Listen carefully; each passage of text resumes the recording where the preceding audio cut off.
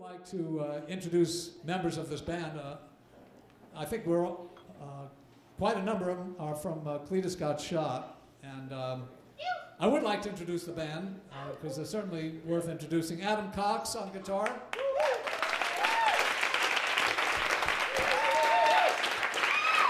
Mark Landry on bass. Robin Mulak, Jacob's mom on keys.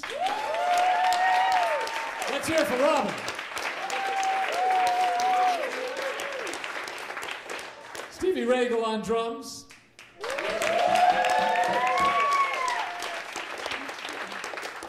And Jordan George, Jacob's brother, on guitar. Let's hear for Jordan. This is a family reunion, folks.